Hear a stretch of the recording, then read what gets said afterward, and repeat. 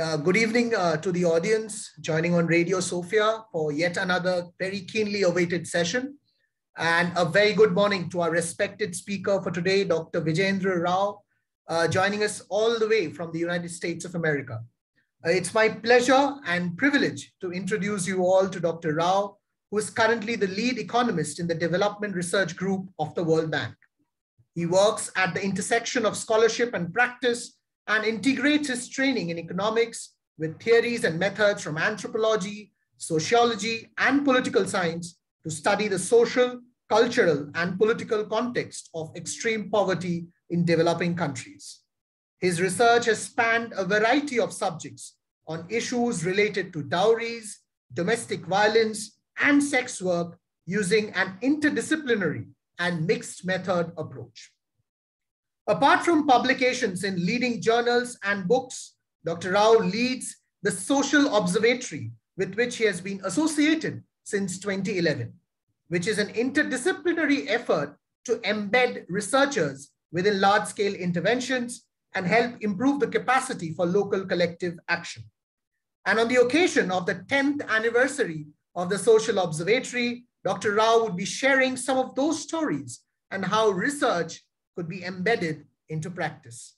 Thank you, Dr. Rao, once again uh, for accepting the invite as we look forward to an interesting session ahead. Uh, over to you, sir. Thank you, Madri. It's a pleasure to talk to all of you. Uh, I'm just going to share my screen because I have a presentation. Uh, it's disabled, Himadri. Uh, you can do it now, sir.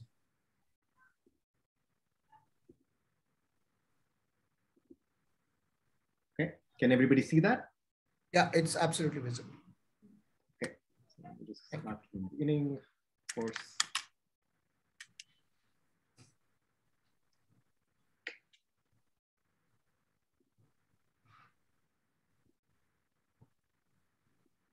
Okay, Uh, so could, could, could you put it on uh, like full screen mode? yeah, doing that now. Is that okay? Yeah, absolutely. Okay. So, um, you know, I'm, what I'm going to be talking about is uh, approximately 10 years now, a little more than 10 years actually, of the work we've been doing with something called the, that we call the Social Observatory, which is really an effort to rethink how research intersects with policy. Um, I've summarized some of this in an article that was published a couple of years ago in Daedalus, uh, if you're interested to sort of see the argument in written form. But what I'll do is I'll give you some of the sort of conceptual theoretical sort of ideas behind the social observatory and how it positions itself from other types of policy making. And, uh, and then I'll give you a, a, couple of examples. We've done a lot of things, so I won't be able to go through everything. It's on our website, which you can see there. But I will highlight a couple of things that we have done so you get a flavor of the approach that we have followed uh, over this period. It still goes on. So I'll talk about some of the work that we've also been doing uh, currently. Yeah. Um, now, what I should sort of make clear here is that the talk is as much about the social observatory, but also about a perspective of how economists and social scientists more generally uh, can make policy intervention better. Uh, that is not just about RCTs or about you know uh, theoretical uh, approaches, but is what I call an embedded approach uh, to, the, about the intersection. So let, so let me let me get started. Uh, there. Let's go this way. There we go. Okay. So, you know, if you think about how we do policy in the world, all, all over the world, these are not uh, just unique to India, but literally all over the world. Uh, there are three major approaches uh, that, you know, at least I can think of. And keep in mind that, you know, when you're making an argument of this kind, there are always going to be overlaps and, you know, somebody will say, well, you know, this is not quite that, this is not quite this. So it's not a strict distinction. They're, they're what, you know, Max Weber called ideal types. Uh, they characterize different ways of doing policy. So the three that I'm going to talk about are neoliberal, neo-Keynesian, and neo-paternalistic. And I'll explain what they are. Let's start with neoliberal. This you all know. Uh, you know, think about uh, Friedman or Hayek and people like that. It starts from a basic skepticism about social science, that as social scientists, uh, you know, human beings have an intrinsic inability to understand human behavior very well. Yeah. So therefore, the idea then becomes since we have this inability to understand human behavior really well, let us leave people alone, laissez faire. Yeah. Let's leave people alone. Because there is a skepticism about the ability of government to fix problems because at the end, social scientists are advising government. So both because of government and state imperfections, the inability of social science to understand them, you rely on the invisible hand of the market. Okay? And this is coupled very, very sort of closely with an emphasis on individual rights and on electoral democracy. Uh, and of course, the grand characters here are, are the Austrians, largely Hayek, Schumpeter, and the other Austrians uh, have, you know, have written most eloquently about this. Milton Friedman uh, more currently, and of course, there are others who write about it now. But the basic way, the route out of poverty following a, a neoliberal approach is to maximize growth. As they say, you know, a rising tide lifts all boats, and that uh, helps us reduce poverty. So this is sort of just a characterization of what you know, neoliberal. Neo-Keynesian is a reaction to neoliberalism. Okay, and here, of course, Stiglitz, Akerlof, all the great, uh, uh, you know, uh, and of course Keynes himself, uh, of, of, of uh, economists of, of, of, the second half of the 20th century, with a great focus on two issues, market failure and inequality. Yeah. And the role of the government here is to intervene to correct market, market failures and to improve inequality of opportunity. Yeah. So here there's a greater reliance, a greater belief that as social scientists, as economists and sociologists and so on, we can understand human behavior quite well, and therefore we can give advice about how to solve market failure problems. So in effect, it becomes an expert-led way of doing policymaking uh, there are very many sort of remedies that, that, that are also exist to correct inequality, affirmative action being one of them, legal remedies to ensure equal access. And of course, it all rests on the presumption of electoral democracy. That is, we don't like how a government works, you vote it out, bring another government in. And it's basically the way policy is done in most parts of the world. And if you want to look at the historical antecedents of this, you can go back uh, even to Chanakya in India. I mean, it goes back many, many years uh, many uh, millennia. Um, and, and, and, and a lot of uh, government programs rely on this kind of approach uh, for social protection, healthcare, minimum wages, and so on, all over the world. Of course, it very much characterizes uh, policy in India, uh, particularly since independence. Any sort of welfareist policy will fall under the category of neo-Keynes. So that's also well known.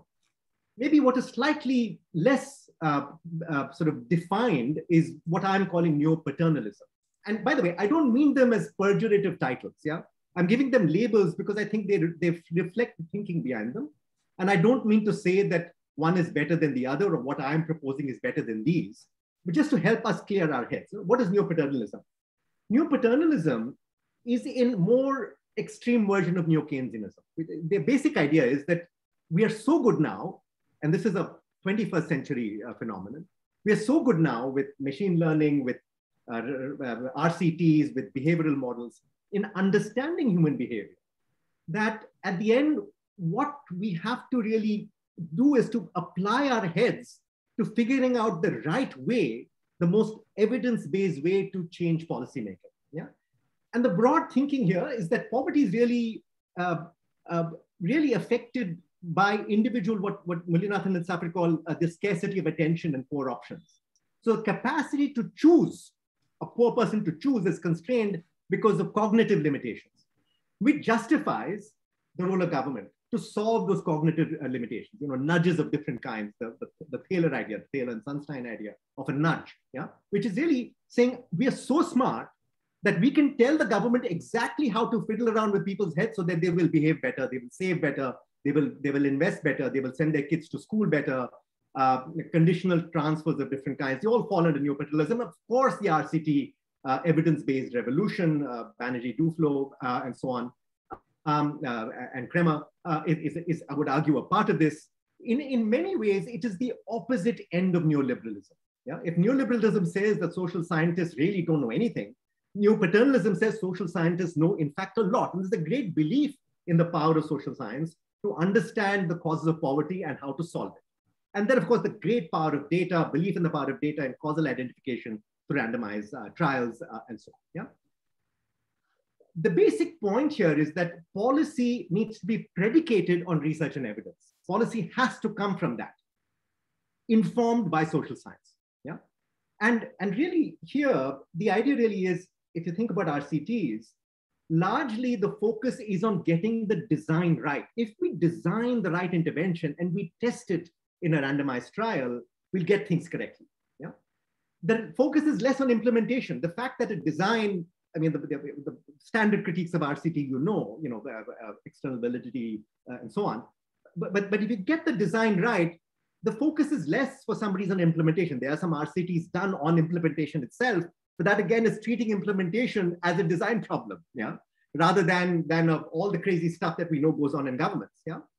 And the emphasis at the end comes to very simple designs because complex designs are very difficult to deal with in RCTs.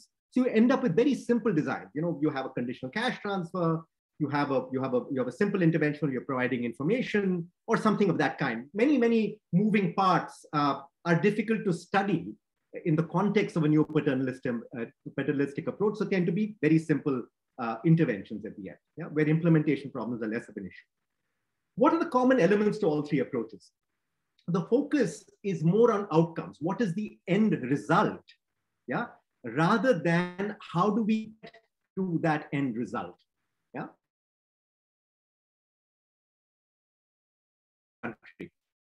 Asking if we design something, how does it move from step to step from the first time somebody approaches a community and says do something or, or, or, starts a school to how that whole thing translates into outcome. You, you don't see much on the what they call mechanisms. If you, read, if you read the literature and mechanisms in RCTs, it's like theoretical literature.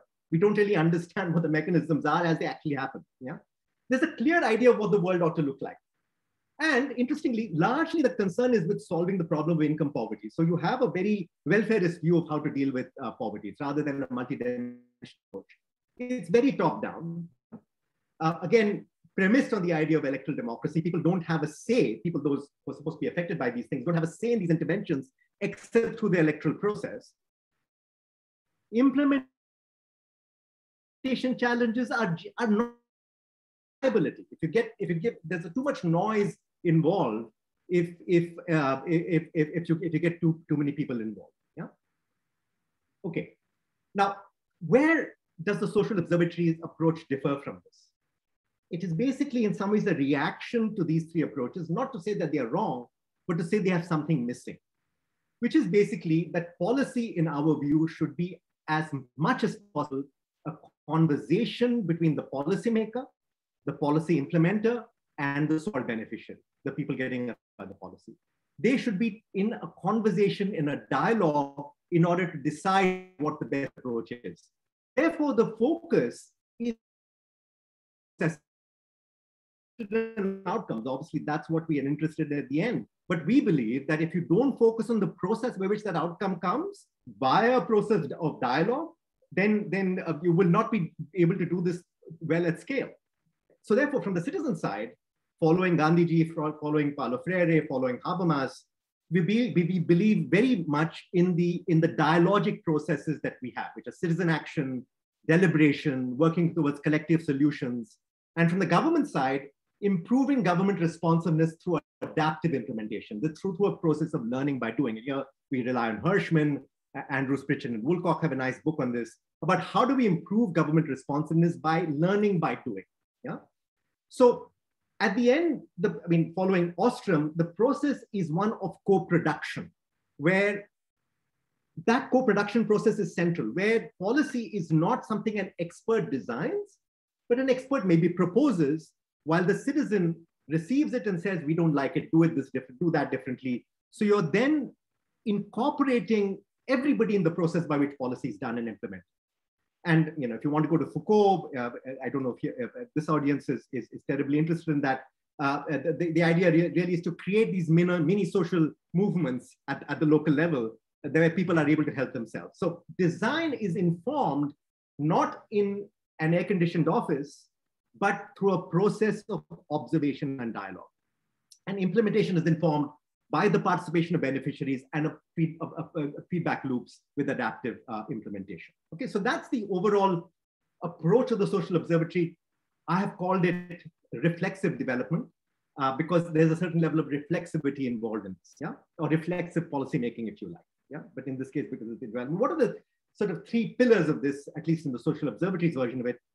The first is, uh, you know, very much like an RCT idea, but with certain caveats, long-term feedback.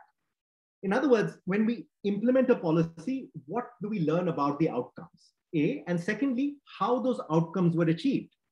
So when we do impact evaluations, and we do have done several RCTs, we couple that with ethnographic uh, process tracking to understand how those outcomes are, are, are, are, are achieved. Uh, there's a paper I have on the anatomy of failure, uh, if you're interested in, in learning more about that. Yeah. And secondly, we had done a lot of work. In fact, I'm doing two books on that now, and I'll be talking a little about that in this talk on what we call qualitative tracking. That is trying to see how change happens with extremely intense observation of the process of change, not through surveys, but through participant observation.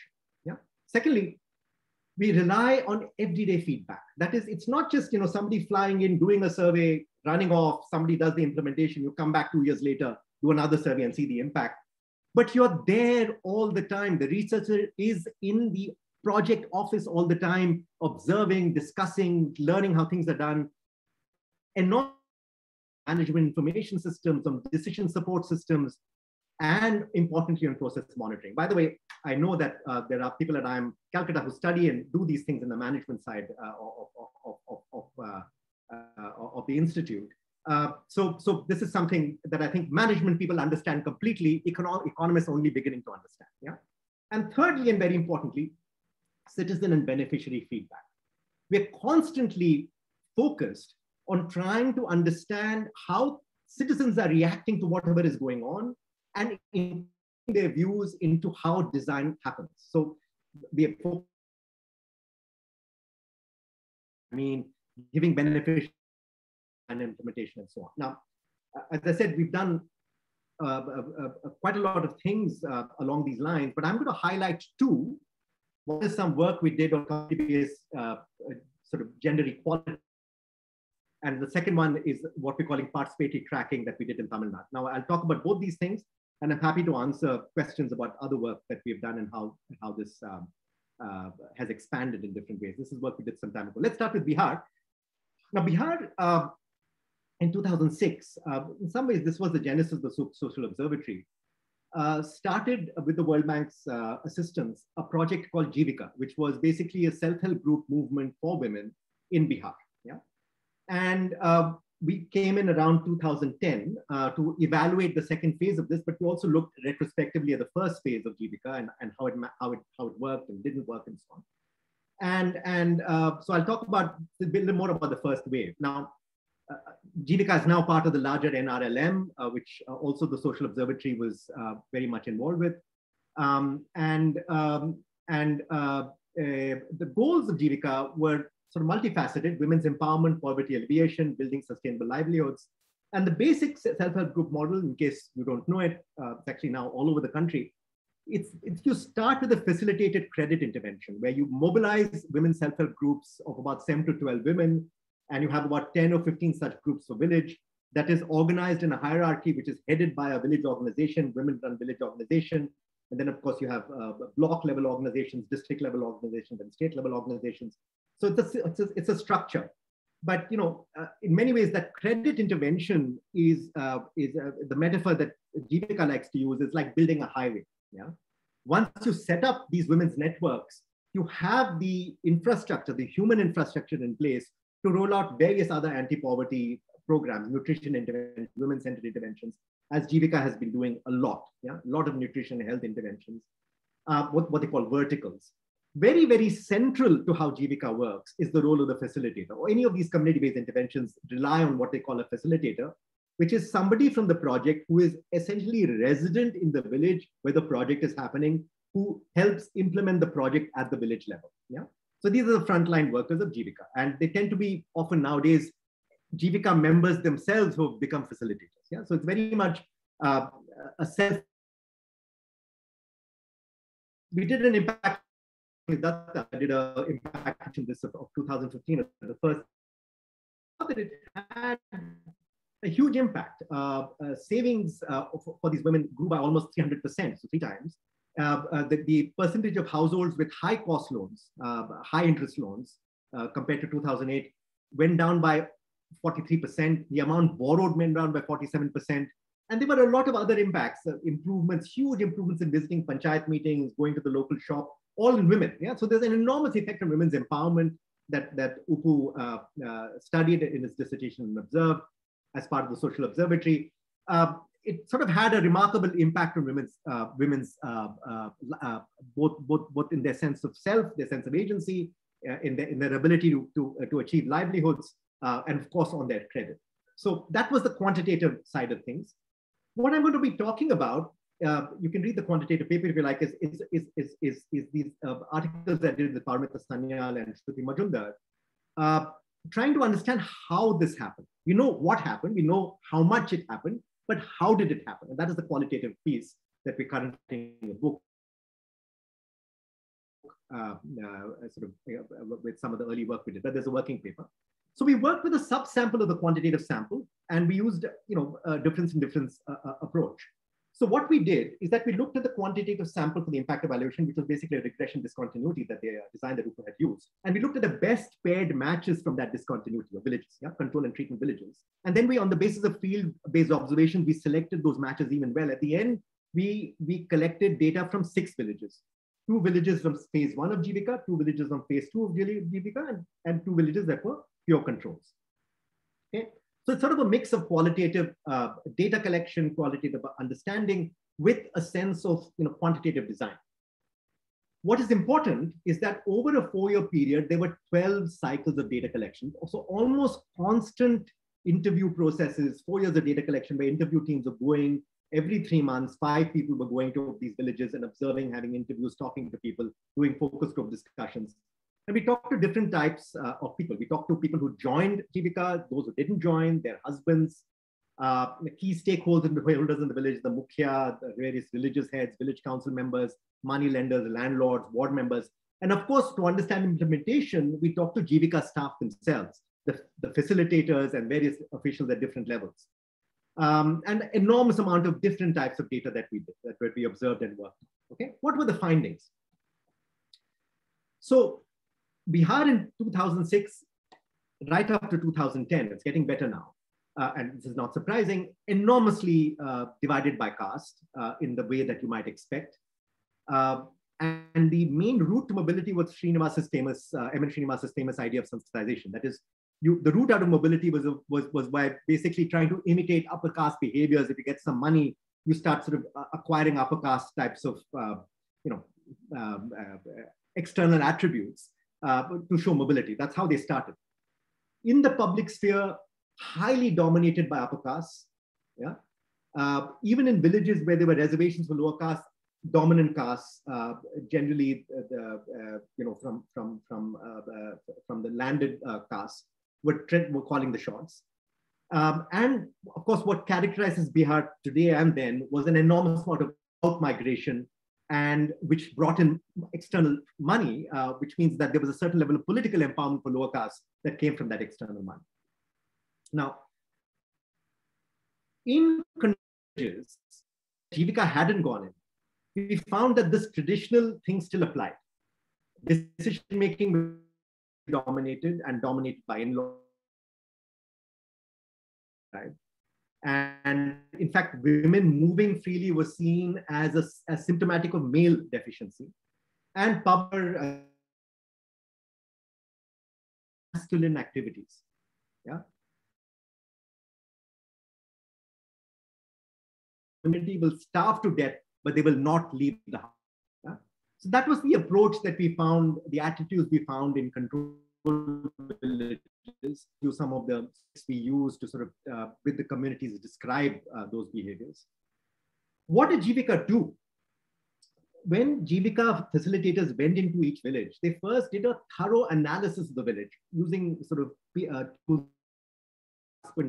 rapid observe, uh, appraisals, you know, focus group discussions, talking to the community to understand what is the power structure of the village. Yeah, what is the caste dynamic, land use patterns, money lending practices, uh, what are the different types of interventions going on there. Then importantly, they went to the village elders, and husbands and so on, and started saying what Jivika was going to do and got their buy-in, got their acceptance of that intervention, basically saying we're going to give you cheap credit. So the way Jivika describes it, we saw they see cheap credit as a bribe to allow women to enter the project. Okay. Remember, however, that because it was a project of the government of Bihar, highly backed up by the chief minister and the chief secretary, Nitish Kumar, in those uh, now, but that was early Nitish Kumar. Uh, it had a lot of power behind it, coming from the top. So when the village elders were sitting there, they were realized that this is coming from the chief minister himself. Yeah. So, so there was a lot of acceptance of that. And then they did what they call the facilitators did what they call social mapping, identify key people in that village who can be the first movers, women who can turn into the eyes and ears of the community and help mobilize other women. Yeah. So um, the second is process the step they followed was the mobilization the, what they call what we can call the co-production of discourse. That is, you want to change how women think, where they realize that women from different castes, different groups share one thing. They share the experience of poverty. And those shared experiences were discussed in these self-help groups to begin with, their own narratives of struggle, their own narratives of poverty. And then that open discussion of how gender norms constrain women's participation from different castes. And then a certain self-empowerment process where self-help and was the end goal rather than jobs or cheap credit. It wasn't the economic as much as the social that was the end goal that the women themselves came up with. And that was co-produced. So they did it in their own language, in their own way. It wasn't something forced, but it sort of happened organically. Then there was a process of what we call the participatory identification. Of the poorest communities themselves got together and said, who are the poor families that should benefit first from whatever cheap credit is offered? And they were the first ones to enter the project and it expanded from there. Step three was the ritualization of activities giving women their own passbooks, giving them a bank account, giving them a money box where they can handle money as members of a group, not their own household money, but the group's money. Um, and then, of course, uh, engaging head on with the messy politics of the of the panchayat, yeah, in, in, in Bihar. The SHGs, women coming together, had political clout within the village. You know, there's, uh, it's very interesting. If you look at wherever SHGs have become very prominent, Andhra Pradesh, Bihar, and so on, women have become a huge political force because the SHGs tend to be a vote bank in themselves. Women tend to be a vote bank in themselves. And that happens in every village. Yeah. And through repeated messaging, reiteration, uh, certain level indoctrination too. Yeah. So, the, so, you would see them singing songs, uh, uh, street theater, flip charts, and so on, treating Jivika as a way of life rather than a donor or a World Bank funded project. And that sort of resulted in a process by which women could make claims outside the household, that they felt empowered outside the household, that they had the community outside their own families and outside the household, but across different castes, across different groups, across different religions. That, that self-help group identity becomes the primary identity. Yeah. And you know, so if that that one mukhya in a village said, Nitish has turned women into men. And that's because Jivika, backed by political and cheap credit, gave women exclusive access to a set of physical, symbolic, and institutional resources, all of which were masculine, uh, uh, uh, part of the masculine sphere prior to the project. So the point that Jivika shows is that these social norms cannot be changed in a short period of time. So all these papers you see norm changing within one, six months or a year don't last. They happen for the period of the project. To have lasting norm change, you need a reiterative process of collective violation of behavioral injunctions. In other words, it's got to be done again and then again and then again. And that's what enables the mini social movement. And if any of you go to any of the Jivika villages in Bihar now, you will see this continuing. Yeah, this has not gone anywhere. Uh, you know, it's, been 15 years since the project started, 16 years almost. It's not going anywhere. Yeah. So, however, when Jivika expanded from phase one, which ended in 2010, and then phase two, it started 2011, where we came in, where it almost doubled the number of households it was uh, targeting. And now, of course, it's 6 million households. We noticed some issues. And we did a randomized trial of, of that, which is uh, a, a, paper that was published last year in the JDE. You see that the savings uh, changes in those two years are smaller than the previous uh, uh, study we did. Uh, household high debt has gone down, but by less uh, and you know, there's no really big effect on women's empowerment in the short term in the second phase. So the first phase was fantastic. The second phase was good, but not as great. Yeah. And we did another piece of work to understand why, and I'm not going to go through that because of lack of time.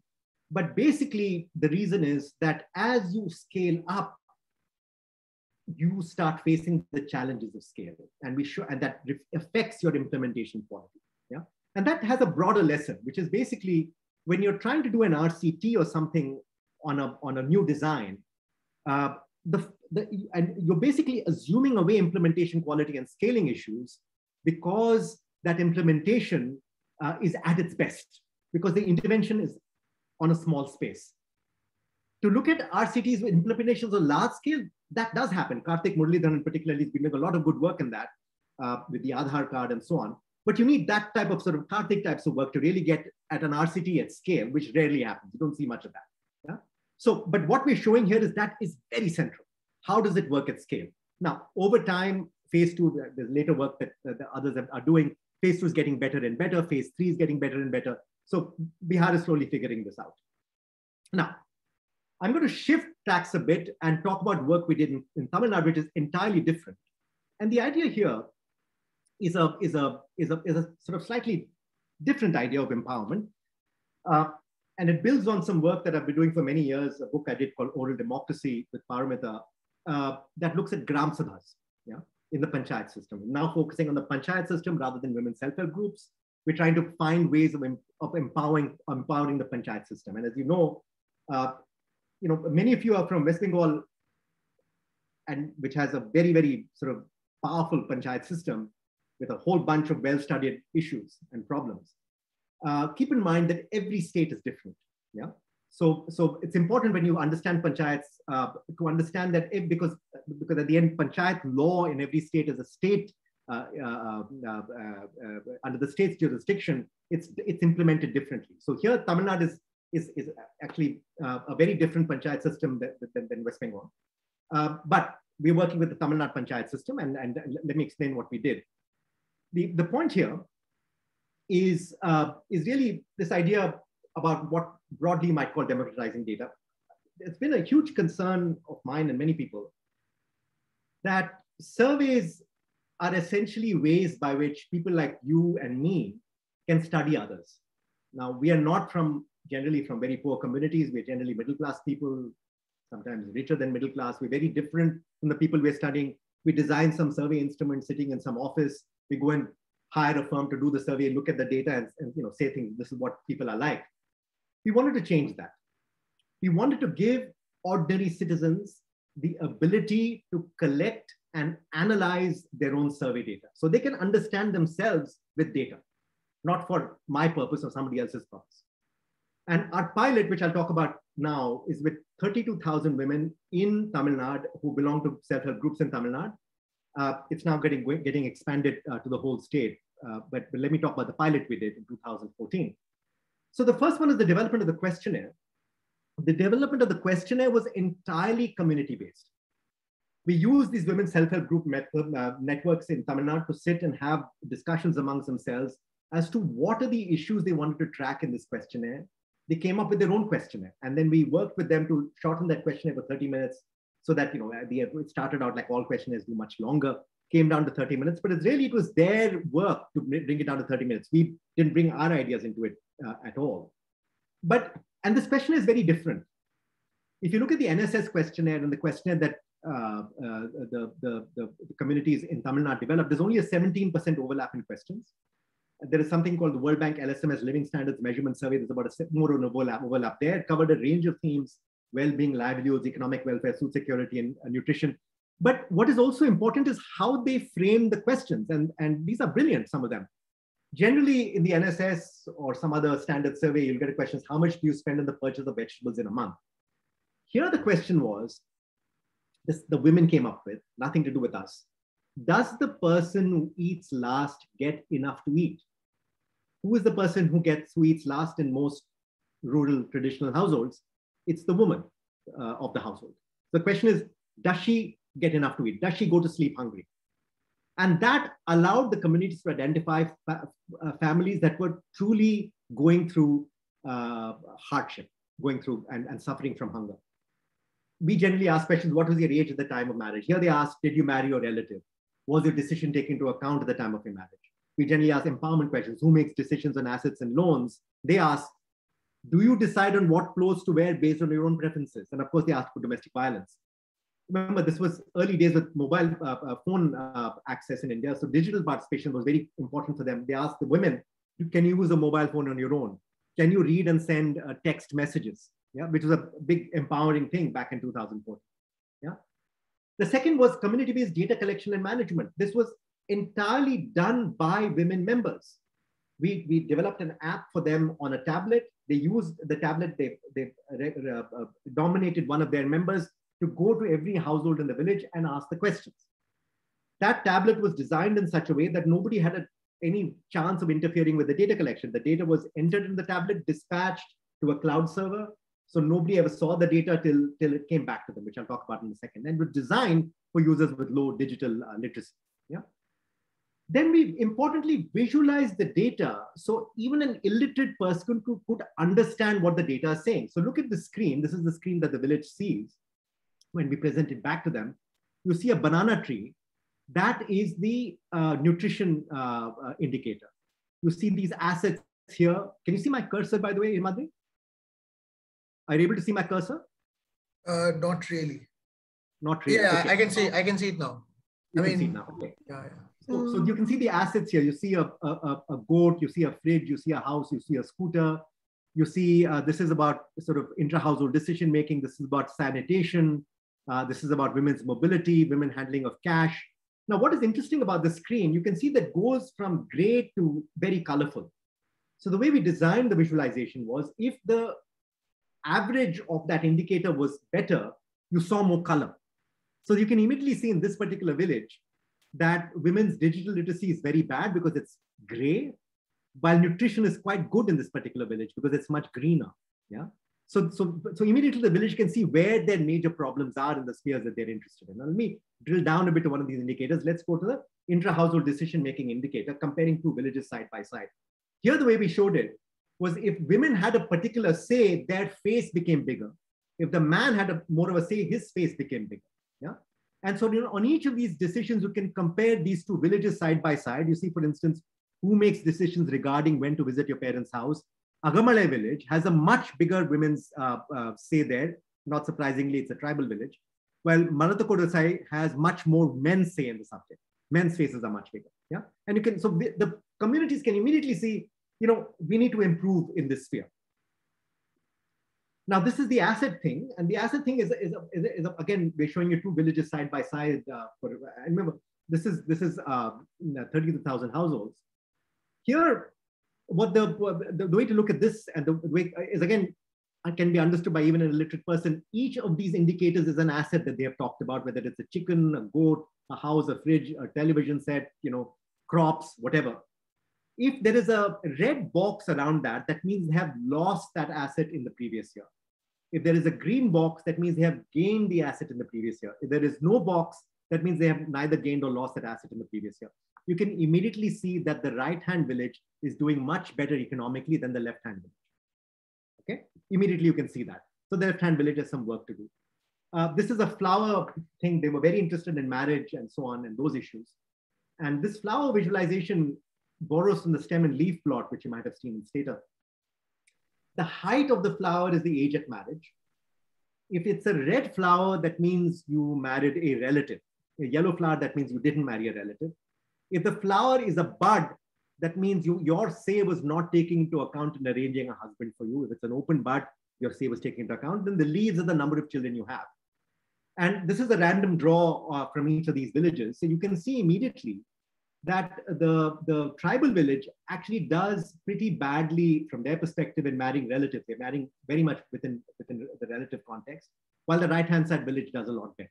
Yeah, Age at marriage is high on the right-hand side village. So what this is showing, if you just compare just some of these three things, or going back to the big screen, you know, these two villages are good in some, better in some things, worse in others. It's not one standard story that um, um, uh, Manala Kudasai is a better village than Agamale they're good at some things, they're worse at other things, right? So what is very important is all of these visualizations were presented to the village in a Gram Sabha meeting. And then that allowed the women's groups along with the panchayat to make budgetary decisions about where to allocate money to improve their well-being. Yeah. So that feedback process is very, very central to, to participatory tracking. Now, what's going on now? What I mean, where has this gone from 2014? Firstly, you know, it creates a citizen-based narrative of, of data and poverty and well-being. It's not designed by some well-trained economists. It's designed by regular, everyday people uh, trying to understand how they're doing. It incidentally produces high frequency data. You can do this every six months and it's a census. Yeah, it's a census you can do every six months. And importantly, now where this is going is to expand this from individual outcomes to public goods, to common property using digital maps and so on. And it's being now designed and implemented all over Indonesia, all over Nepal. Uh, Karnataka has taken it up. Tamil Nadu has already put it in its budget as something to do. COVID has put a bit of a damper on some of this, but hopefully uh, it'll get moving soon. So it's it's now picking up around the world. Yeah, and uh, so I, I want to I want to take a bit of a look. I gave you two brief glimpses following what we're calling this reflexive development idea as a sort of an alternative to the three dominant practices in policymaking, which is uh, neoliberalism, neo-Keynesianism, and neo-paternalism.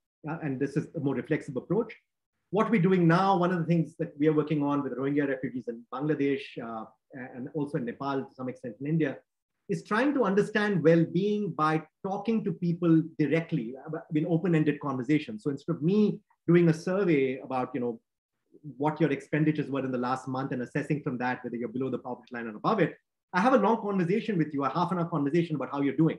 With, you know, and those that conversation is then analyzed by a uh, natural language processing method by machine learning to assess your well-being. This, this is a method we're working on. Uh, I'm working to, to, with the government of Karnataka to, to uh, improve their panchayat uh, decision making and their COVID management.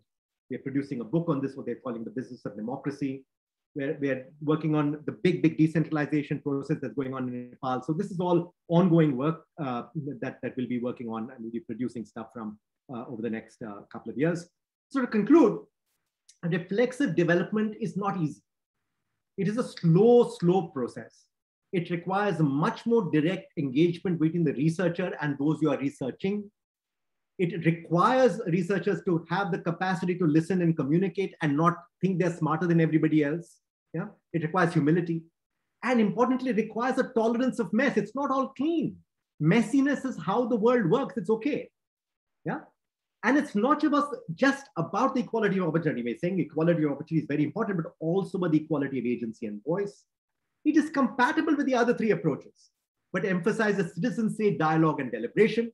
It is intrinsically interdisciplinary. One thing I really get mad about is when economists start thinking they're smarter than the other social, social sciences and do not collaborate with them. I think that is an idiotic thing and completely against any principle of good science. Yeah the principle of co-production, co-producing policy design with citizens. You intrinsically think of the good life as not being some welfare income metric or expenditure metric, but it is multidimensional. Yeah. And really, it is not just about poor countries, it can happen in rich countries too. So what we're trying to do is to, is to actualize this idea of reflexive development via how we work uh, uh, with uh, projects uh, uh, around the world. All right, let me stop there and I will stop sharing and, uh, and happy to answer any questions that, that you may have. Yeah, thank you so much, Dr. Rao, for this great presentation.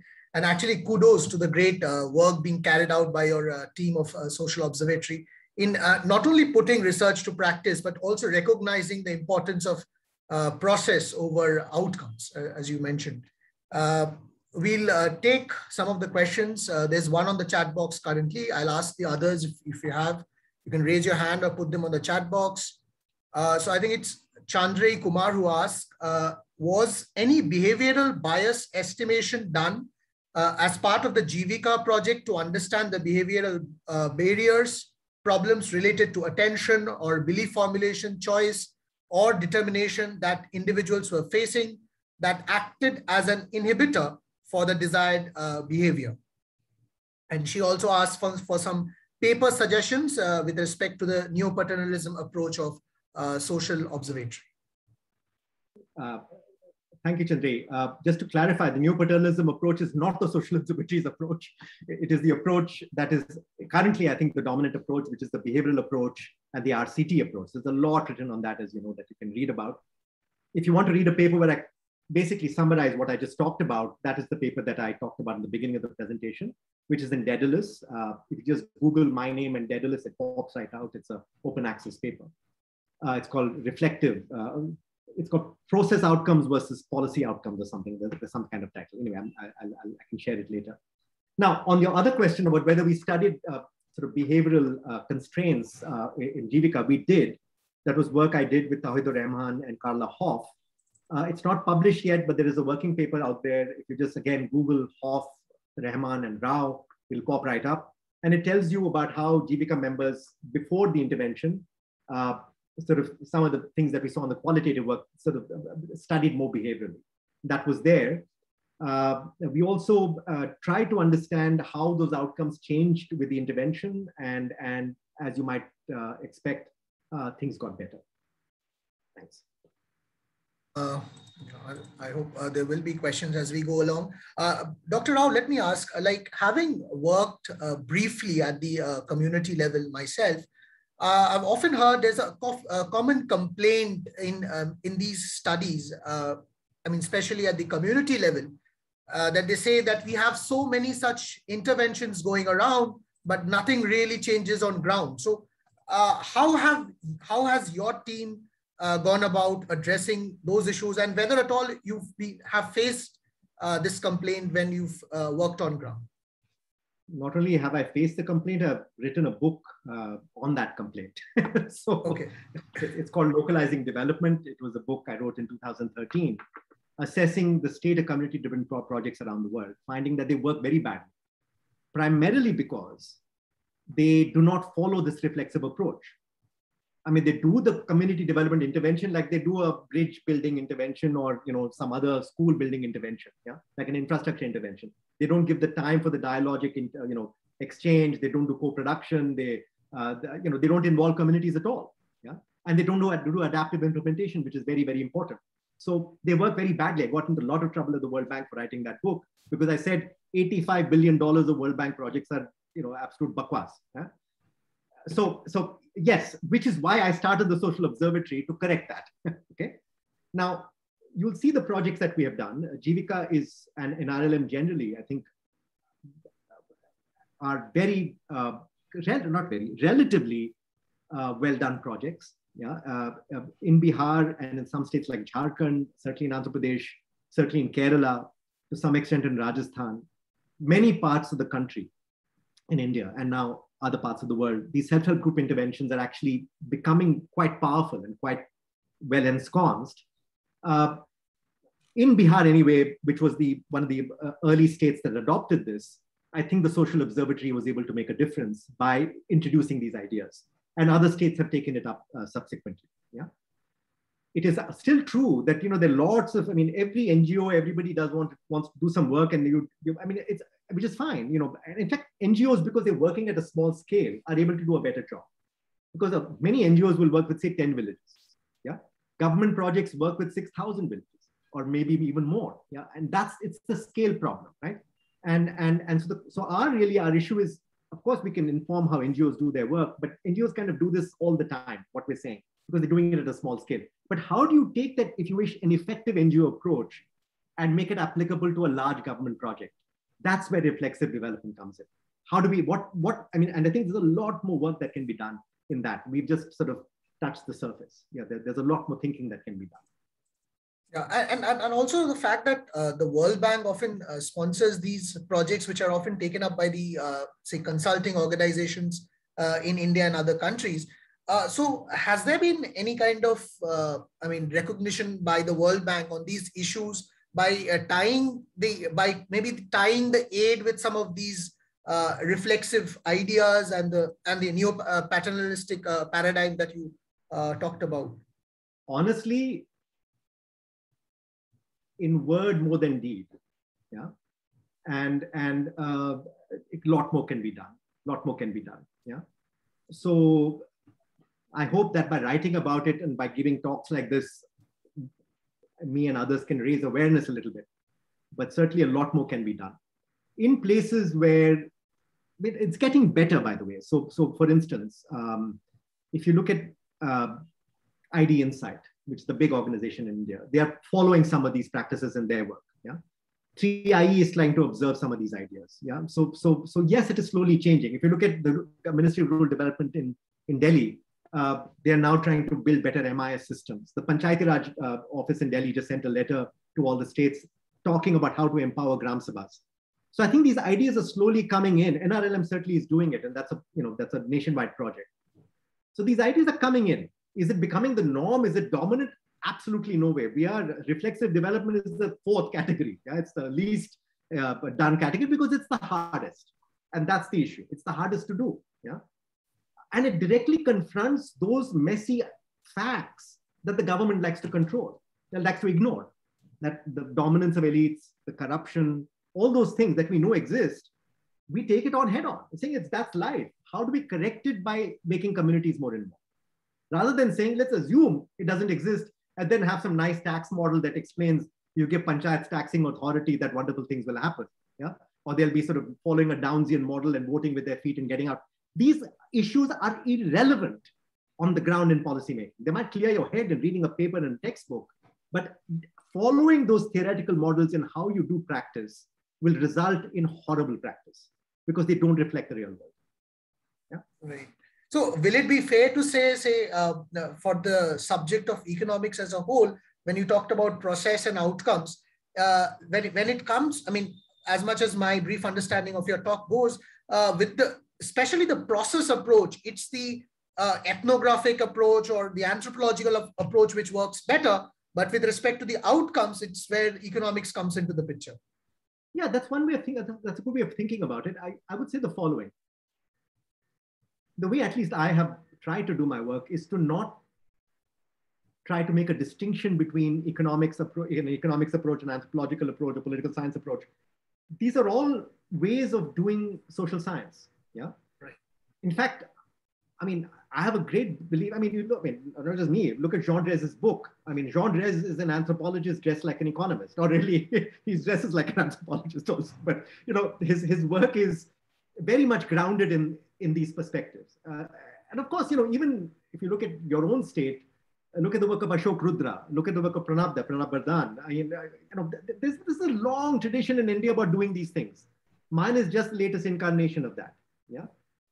I want to make it sexy again, man. I want people to realize that this can be publishable because by doing people some good, you will also get some benefit. Now, the problem is that the economics profession is so dominated by you know what Heckman is called top five itis. Yeah, we have to publish in these top five that everybody does the same bloody thing. Everybody's writing the same bloody RCT. Everybody's citing the same bloody people. Yeah, that nothing gets done. This is not about your career. Why are we all in this profession? To make other people's lives better, not our own necessarily. our own will happen, but the main purpose is to make other people's lives better. You sit and you just worry about your own career. Why don't you join a farm? Sell soap. Don't be a development economist. So, having gone on that rant, I'm trying to give some ideas about how we can all make our work more relevant and more effective. Yeah, yeah. Thank you for being uh, so brutally honest. Uh, uh, I am waiting for anyone else if uh, anyone else has a question.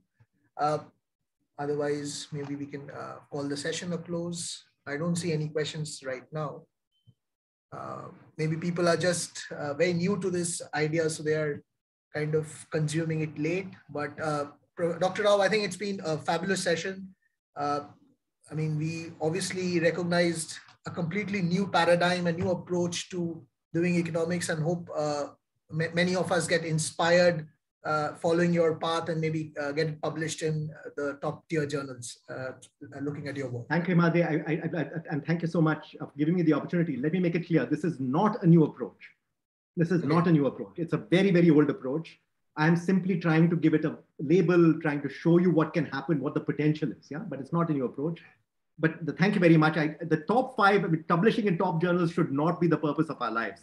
But I just wish that there would be a way of earning a living as an economist without publishing in those journals. It, unfortunately, that's not the case. So I understand constraints you are in, but thank you very much for giving me the opportunity to speak to all of you. And, uh, you know, hopefully we'll have more opportunities later. A pleasure is all ours. Uh, thank you, Doctor.